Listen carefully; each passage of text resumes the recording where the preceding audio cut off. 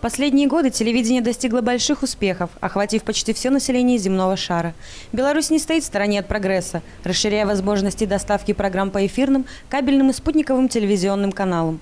Последние годы очевидна тенденция активного развития цифрового вещания, открывающего для пользователей совершенно новые возможности обычного телевизора. И результаты его эксплуатации подтверждают тот факт, что подобный сигнал имеет много преимуществ. Главное из них – высокое качество изображения и звучания, а также транслирование на одном канале сразу нескольких программ. Желать качества надо лучше. Я вот это смотрю, вот, и, ну, у меня такое все заплывает, все ребит. Вот. Но оно может нас со временем настроиться, все будет э, лучше. А вообще, конечно, качество э, хорошее. Лучше, во-первых, телевизор показывает. Намного кадры цветнее изображаются. Ну, что еще вам сказать? Хорошо. У нас цифровой телевизор. У нас уже давно, несколько лет как. Поэтому, в принципе, нам хорошо, что уже есть цифровое, оно лучше показывает, чем аналоговое. Полный переход белорусского телевидения на цифровое вещание осуществится до 1 января 2015 года. Чтобы принять у себя новый цифровой формат, достаточно будет лишь купить к телевизору специальную приставку. Продуманные белорусские производители уже способны предложить пользователю самую широкую модельную линейку телевизоров и приставок, способных удовлетворить как самых требовательных, так и самых экономных покупателей. Так, республиканское унитарное предприятие «Белтелеком» предлагает интерактивное телевидение зала, которое уже завоевало большое количество зрителей. Мы предлагаем всем нашим клиентам э, обратить внимание на возможность подключения услуг зала. И проводной зала, и эфирной. Э, проводная услуга цифрового телевидения зала доступна всем, у кого есть телефон дома.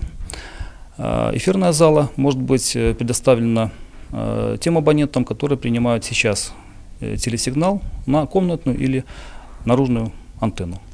Это прежде всего дачники, это жители сельской местности, э, то есть э, те, у кого либо нет телефона в доме, либо он находится далеко от наших узлов передачи данных. Тем не менее, среди пожилых людей созрело множество вопросов относительно замены старых телевизоров и покупки нового специального оборудования или той же залы пенсионерам тяжело, тяжело покупать это, вот этот тюнер, потому что как бы он дорогостоящий, туда еще нужно кабель покупать. Поэтому если бы наши центральные антенны каким-то образом перешли на это, тоже поменяли свое оборудование, было бы, конечно, замечательно. Потому что покупать, подключать им, э, например, залу или кабельное, которое платить ежемесячно 40 тысяч, это тоже как бы пенсионерам, да им не нужно столько каналов. Смотря сколько пенсионер зарабатывает, так сказать, подработка еще дополнительной. Если он э, и пенсия у него, и дополнительно еще какой-то у него заработок, значит, да. А так очень сложно. Я не устанавливала, потому что у меня жидкокристаллический телевизор, и там как бы все у меня есть. Мне нравится, потому что, ну, как вам сказать, лучше видно, как-то ярче.